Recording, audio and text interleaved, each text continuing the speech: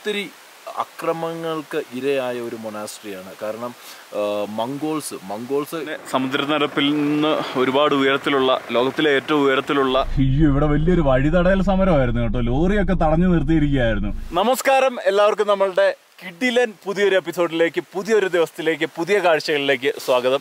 നമ്മളിപ്പോൾ ഉള്ള സ്പിതി വാലിയിലെ കീ മൊണാസ്ട്രിയുടെ മുന്നിലാണുള്ളത്. നമുക്ക് പിന്നിലെ കീ മൊണാസ്ട്രിയുടെ ദൃശ്യങ്ങൾ കാണാം.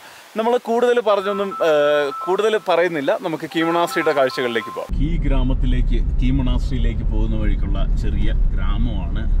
സ്നോലപ്പോടിന്റെ എന്റെ ബോർഡൊക്കെ വെച്ചിട്ടുണ്ട്. മേലിലേക്ക് പോകും കിബറിലാണ് കൂടുതലും സ്നോലപ്പോഡിനെയൊക്കെ കാണുന്നത്. കീമണാസ്ട്രിയുടെ കവാടം ഇത് കേട്ടോ. കീമണാസ്ട്രി നമ്മളെ അകത്തോട്ട് ക്ഷണിക്കുകയാണ്.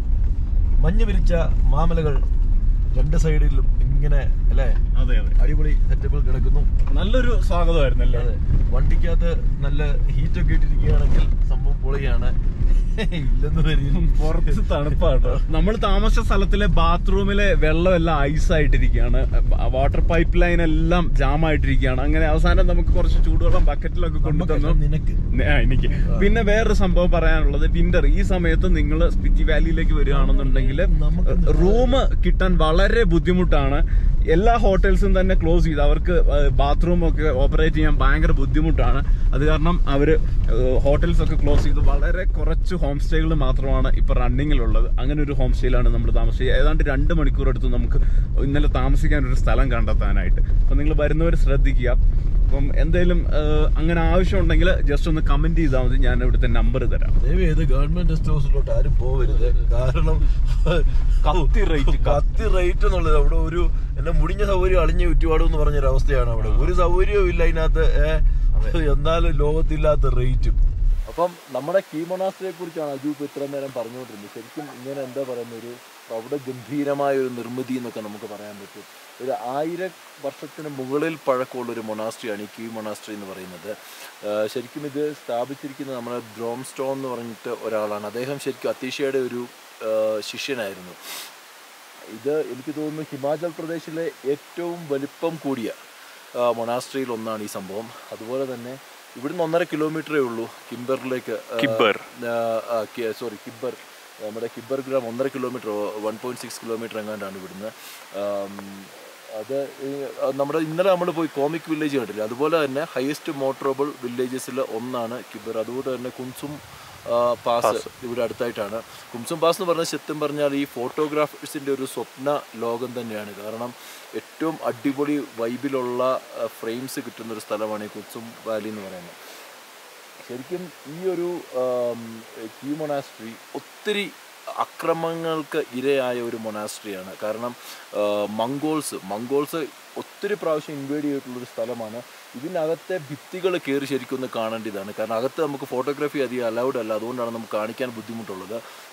ഒത്തിരി മ്യൂറൽ പെയിന്റിങ്ങുകൾ ബുദ്ധന്റെ പല രീതിയിലുള്ള പ്രതിമകൾ അല്ല ഒത്തിരി കാണാനും വേണ്ടിയുള്ള ഒരിക്കലെങ്കിലും വിസിറ്റ് ചെയ്യേണ്ട ഒരു സ്ഥലമാണ് കീ മൊണാസ്ട്രി ഇവിടെ ആയിരത്തി തൊള്ളായിരത്തി എണ്ണൂറ്റി നാൽപ്പത്തി ഒന്നിലാണെന്ന് തോന്നുന്നു. നമ്മുടെ സിഖ് റെജിമെന്റ് ആക്രമണം നടത്തിയിട്ടുണ്ട്. നമ്മുടെ ഗുലാം ഖാന്റെ ഇതിലുള്ള ആ വർഷം തന്നെ വീണ്ടും ഇവിടെ ഇൻവേഷൻ നടക്കുകയും ഇതിനകത്തു നിന്ന് ഒത്തിരി സാധനങ്ങൾ അടിച്ചു മാറ്റിക്കൊണ്ട് പോവുകയും അതായത് എനിക്ക് തോന്നുന്നു ഏറ്റവും കൂടുതൽ അക്രമങ്ങൾ നേരിട്ടിട്ടുള്ള മൊണാസ്ട്രികളിൽ ഒന്നാണിത്. പക്ഷേ എന്നാലും ഇത് വിത്ത്സ്റ്റാൻഡ് ചെയ്ത് അങ്ങനെ അത് കഴിഞ്ഞിട്ട് ഒരു വലിയ തീപിടുത്തം സംഭവിച്ചു. പിന്നെ ഒരു വലിയ ഒരു ഭൂമി കുലുക്കം ഉണ്ടായിട്ട് ഇതിന്റെ ഒത്തിരി സ്ട്രക്ചറുകൾക്ക് കേടുപാട് സംഭവിക്കുകയും. പിന്നീട് വീണ്ടും നമ്മൾ ഇതിനെ ആയിരത്തി തൊള്ളായിരത്തി എഴുപത് ആയിരത്തി ആ എഴുപത്തി അഞ്ചിലാണെന്ന് തോന്നുന്നു ഒരു ഭൂമി കുലുക്കം ഉണ്ടാകുക ഒത്തിരി കേടുപാടുകൾ സംഭവിക്കുകയും. പിന്നീട് വീണ്ടും ഉയർത്തി കെട്ടിപ്പൊക്കിക്കൊണ്ട് വരുന്നൊരു സംഭവമാണിത്. പക്ഷേങ്കിൽ ഇന്നും ഇതിനകത്ത് ഒത്തിരി സംഭവങ്ങൾ പഴയ കാലത്തുള്ള മ്യൂറൽ പെയിന്റിങ്ങുകൾ ശില്പങ്ങൾ കൊത്തുപണികൾ ഇലക്കൂട്ടുകളുടെ അതായത് ചാറുകളുടെയും അല്ലെങ്കിൽ എന്താ പറയുന്നത് നമ്മുടെ പൂക്കളുടെ ഇല ഇതളുകളിൽ നിന്ന് അവർ ഇതുണ്ടാക്കിയിട്ട് അതിൽ നിന്ന് വരച്ചെടുത്തിരിക്കുന്ന മ്യൂറൽ പെയിന്റിങ്ങുകളൊക്കെ ഒത്തിരി അകത്ത് കാണാൻ പറ്റും. ഇവിടെ നല്ലൊരു ബുദ്ധവിഗ്രഹം നമുക്ക് ഇവിടെ കാണാൻ പറ്റും. അത് നല്ല അടിപൊളി ഒരു വ്യൂ ആണ്. താഴെ കൂടെ സ്പിറ്റി റിവർ ഇങ്ങനെ ഒഴുകുന്നുണ്ട്. ചുറ്റും മഞ്ഞ് പുതച്ച മലനിരകളും അതിന്റെ ഒത്ത നടുക്ക് രണ്ടായിരത്തിൽ നമ്മുടെ മിലേനിയത്തിൽ ഇവർ ആയിരം വർഷം തികയ്ക്കുകയായിരുന്നു. അന്ന് നമ്മുടെ ദലൈലാമ ഇവിടെ വരികയും ഒരു ഭയങ്കര ഗംഭീര ആഘോഷവും കാര്യങ്ങളും ഒക്കെ ഉണ്ടായിരുന്നു. ഇത് ശരിക്കും ഒരു യൂണിവേഴ്സിറ്റി പോലെയാണ് അവരുടെ. പുതിയ ലാമകളെ പഠിപ്പിക്കുന്ന അതായത് പഠിപ്പിച്ചെടുക്കുന്ന അതിന് ഭയങ്കര ഫേമസ് ആയിട്ടുള്ള ഒരു മൊണാസ്ട്രിയാണ് ഇത് ഇവർക്ക് നമുക്ക് കയറി വരുമ്പോൾ തന്നെ കാണാം നല്ലൊരു ലൈബ്രറി ഇവിടെ മറ്റുള്ള മൊണാസ്ട്രികളെ വെച്ച് നോക്കുമ്പം ഇത് വേറെ ലെവലിൽ നിൽക്കുന്ന ഒരു മൊണാസ്ട്രിയാണ് ഇവിടെ വന്നു കഴിഞ്ഞാൽ ശരിക്കും നമുക്കൊരു ദിവസം ചിലവഴിക്കാൻ വേണ്ടിയുള്ള ഒരു സംഭവമുണ്ട്. പതിനാല് കിലോമീറ്ററേ ഉള്ളൂ നമ്മുടെ? കാസ, കാസ. കാസ. കാസയിൽ നിന്ന് പതിനാല് കിലോമീറ്റർ ദൂരം ഉള്ളൂ ഇങ്ങോട്ട്. ഏറ്റവും അടുത്തുള്ള ബസ് സ്റ്റാൻഡ് അതാണ്. അവിടുന്ന് ക്യാബ് കിട്ടും നമുക്ക് എന്താ- എന്താ പറയുക ടാക്സി ടാക്സി കിട്ടും പോകാനും വരാനും ഒക്കെ. അങ്ങനെ വന്നു പോകാൻ വലിയ ബുദ്ധിമുട്ടുള്ള ഒരു സ്ഥലമല്ല. നല്ല റോഡുകൾ അടിപൊളി സെറ്റപ്പാണ് അപ്പം എന്തായാലും ഒരിക്കലെങ്കിലും സ്പിറ്റി വാലി എന്തായാലും നിങ്ങൾ എക്സ്പ്ലോർ ചെയ്യേണ്ട ഒരു സ്ഥലമാണ്. വരുമ്പം ഒരിക്കലും മിസ്സാവരുതാത്തൊരു സംഭവമാണ് കീമോണാസ്റ്റ് അപ്പം ദയവായി ക്ഷമിക്കുക. അകത്ത് ഫോട്ടോഗ്രാഫി വീഡിയോഗ്രാഫി ഒന്നും അലൗഡ് അല്ലാത്തത് കൊണ്ട് നമുക്ക് അകത്തത്തെ കാഴ്ചകൾ കാണിക്കാൻ സാധ്യമല്ല. അപ്പം പുറത്തത്തെ കാഴ്ചകൾ കണ്ട്. നല്ലൊരു വിഷ്വൽ പുറത്തെ നമ്മൾ നിങ്ങൾക്ക് കാണിച്ചു തരുന്നതായിരിക്കും. പുറത്തു നിന്നുള്ള ഒരു ഏരിയൽ വ്യൂ ഒക്കെ നമ്മൾ കാണിച്ചു തരുന്നതായിരിക്കും.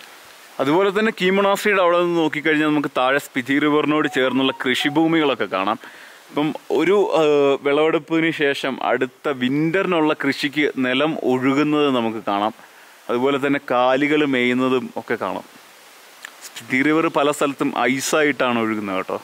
ഇവിടെ മെയിനായിട്ട് എനിക്ക് തോന്നുന്നു ഒരു കാർഷിക വൃത്തി തന്നെയാണ് ഇവിടെ ഇങ്ങോട്ടുള്ള കാർഷികം ഇപ്പൊ ടൂറിസം ടൂറിസം ഇപ്പൊ നന്നായിട്ട് അത് അവർ പറയുന്നുണ്ട്. കാര്യം ഇങ്ങോട്ടുള്ള റോഡുകളൊക്കെ വലിയ തെറ്റില്ലാത്ത രീതിയിൽ അടിപൊളിയായിട്ട് നമ്മുടെ കേന്ദ്ര സർക്കാർ ചെയ്യുന്നുണ്ട്. അതിന് അവർക്കൊരു വലിയ താങ്ക്സ് ഇവിടെയുള്ള ആൾക്കാർക്ക് ഒത്തിരി നന്ദിയുണ്ട്. കാരണം അവർക്ക് ഈ വെള്ളത്തിന്റെയും വൈദ്യുതിയുടെയും ഈ ഗതാഗത അതായത് ഈ റോഡിന്റെ ഒക്കെ ഒത്തിരി പ്രശ്നം ഉണ്ടായിരുന്നു. അതൊക്കെ ഇപ്പോൾ ഒത്തിരി മാറുന്നുണ്ട്.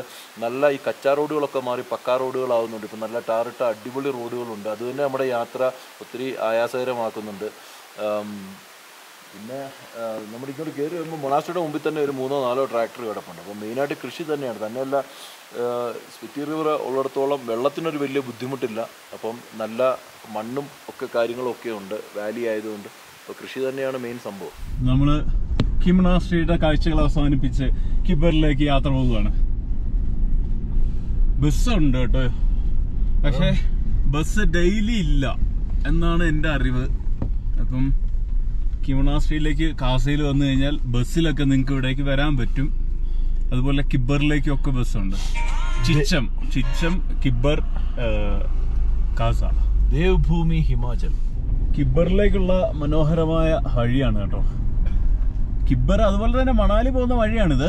കിബർ അവിടുന്ന് നേരെ ചിച്ചം ബ്രിഡ്ജ് നമുക്ക് ഓരോ സ്ഥലങ്ങളും കാണാം. അതുപോലെ തന്നെ വഴി വീതി ഒരു വണ്ടിക്ക് പോകാനുള്ള വീതിയേ ഉള്ളൂ. എന്തെങ്കിലും സൈഡ് കൊടുക്കണമെന്നുണ്ടെങ്കിൽ നമ്മൾ പല വീഡിയോസിലും പറഞ്ഞ പോലെ ഓരോ സൈഡ് വീതിയുള്ള ഭാഗങ്ങളിൽ സൈഡ് കൊടുക്കണം. ഒരു സൈഡിൽ കൊക്കയാണ്. കൊക്ക എന്ന് വെച്ചാൽ വെറും കൊക്കയില്ല അടാറ് കൊക്ക. എമ്മാതിരി കൊക്ക. പോയി കഴിഞ്ഞാൽ പോയി എത്ര ഉള്ളു. പിന്നെ മണ്ണൊക്കെ ഇടിച്ചോണ്ടായിരിക്കുമല്ലോ പോകുന്നത്. പിന്നെ മൂടേണ്ട കാര്യമില്ല. ലോകേന്നൊരു വണ്ടി വരുന്നു. അല്ലല്ല യൂട്യൂബ് എടുക്കുക നീ അത് റെക്കോർഡ് ചെയ്തു അരുണ റെക്കോർഡ് ചെയ്തു റെക്കോർഡ് ചെയ്തുണ്ട് വിട്ടു വിട്ടു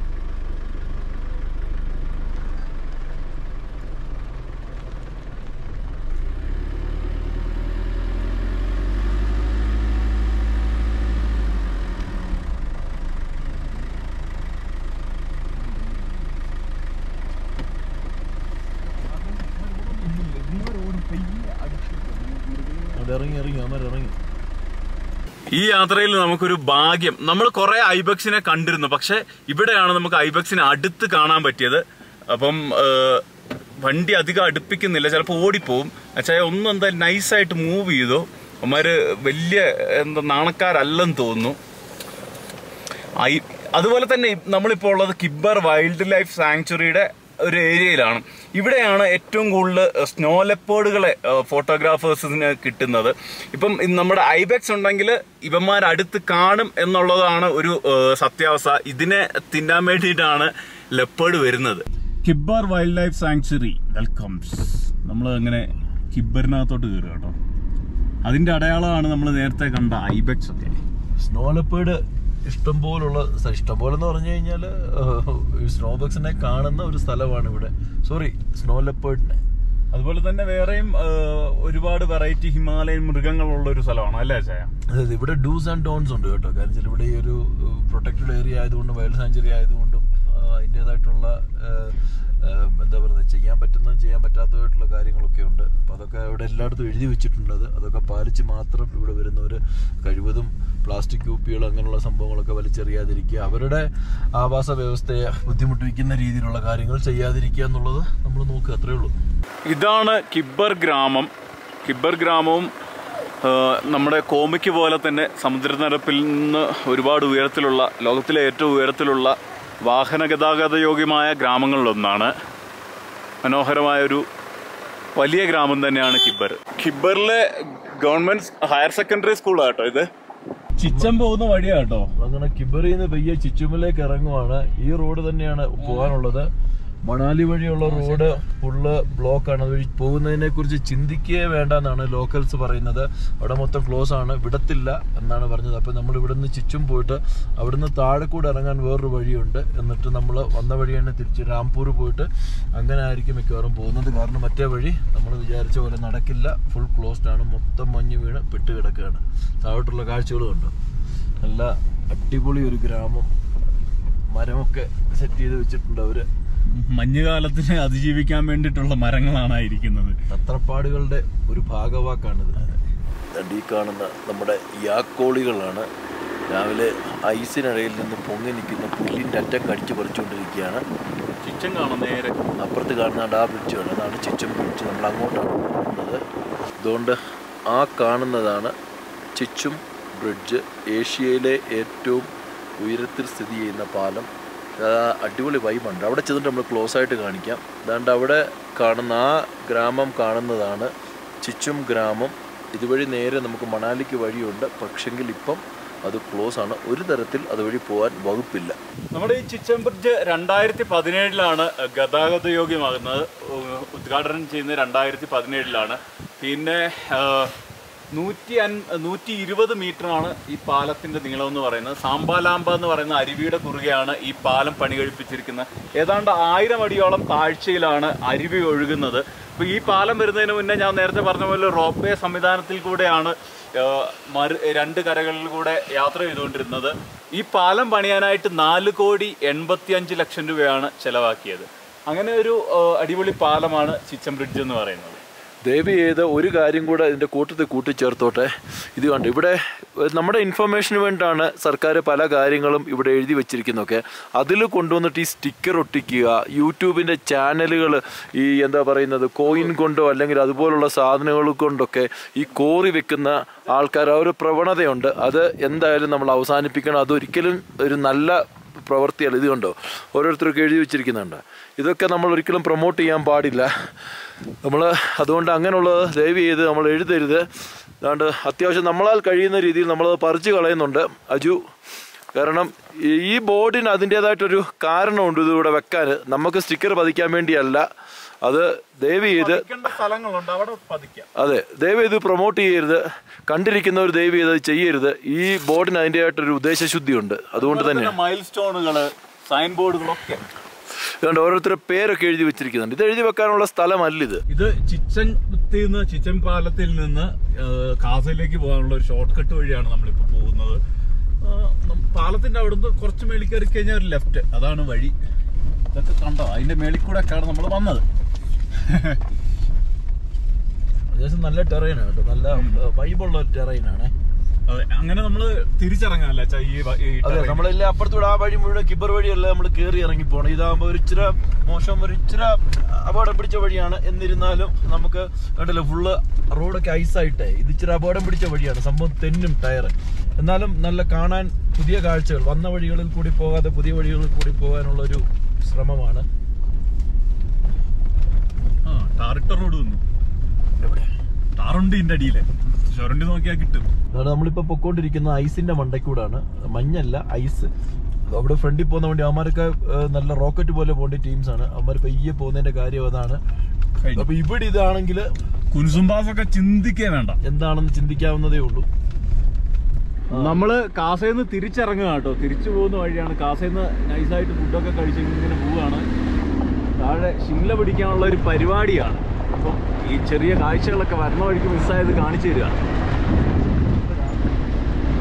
നമ്മൾ തിരിച്ചു പോകുന്ന വഴിക്ക് താപോ എത്തി കേട്ടോ താപോ. നമ്മൾ കഴിഞ്ഞ എപ്പിസോഡുകളിൽ ഗുഹയൊക്കെ കാണിച്ചില്ല ആ സ്ഥലമാണ്. അപ്പം വന്ന വഴി ആയതുകൊണ്ട് തന്നെ നമ്മൾ അധികം വിഷ്വൽസ് കണ്ട കാഴ്ചയല്ല. അതുകൊണ്ട് തന്നെ അധികം കാഴ്ചകളൊന്നും കാണുന്നില്ല. കാണിക്കുന്നില്ല. പിന്നെ എന്തെങ്കിലും സ്പെഷ്യൽ ആയിട്ടുള്ള സംഭവങ്ങളൊക്കെ ഉണ്ടെങ്കിൽ കാണിച്ചു തരാം. ആപ്പിൾ വണ്ടിയെ കയറ്റി ആ അതൊരു സ്പെഷ്യൽ കാഴ്ചയാണ്. നമ്മൾ കാണിച്ചിരുന്നില്ല കേട്ടോ. ഫുള്ള് ഹാർവെസ്റ്റിംഗ് കഴിഞ്ഞ് ലോഡ് കണക്കിന് ആപ്പിളുകളാണ് ഇവിടുന്ന് കയറി പോകുന്നത്. പക്ഷെ ഒരു ആപ്പിൾ വെച്ചിട്ട് മറ്റോ കഴിഞ്ഞ ദിവസം തന്നില്ല ചായ. പക്ഷെ നമ്മൾ അഞ്ചെണ്ണം ഊറ്റിയത് വേറെ കാര്യം. മലയാളിയുടെ തനി സ്വഭാവം കാണിച്ച് ഹിമാചലി വന്നിട്ട്. അയ്യോ ഇവിടെ വലിയൊരു വഴിതടയൽ സമരമായിരുന്നു കേട്ടോ. ലോറിയൊക്കെ തടഞ്ഞു നിർത്തിയിരിക്കുകയായിരുന്നു. ഇപ്പൊ ജസ്റ്റ് ഒന്ന് വിട്ടതേ ഉള്ളൂ. ഇനി നമ്മളെ തടയാൻ വേണ്ടി നിപ്പുണ്ട് കേട്ടോ. അച്ചായ സീനാ കലിപ്പ് സീനാണ്. സീൻ കോൺട്രയാണ്. അത് ഈ ലോറി ഒന്ന് പോട്ടെ. എന്നിട്ട് വേണം ഇവന്മാരുടെ കാര്യം ഒന്ന് റെഡിയാക്കാൻ ഇറങ്ങിപ്പോയിട്ടുള്ള പരിപാടി ഒന്നും നടക്കത്തില്ല കേട്ടോ. ഡ്രോൺ വിട്ട് ഓടിച്ചു വിടുവന്ന്. കണ്ട യാക്കുകളാണ്. ഫുൾ യാക്കുകൾ കലിപ്പ് കലിപ്പ് മോഡിൽ റോഡിൽ ഇറങ്ങി നിൽക്കുക. ഹായ്. മാറിത്താടാ.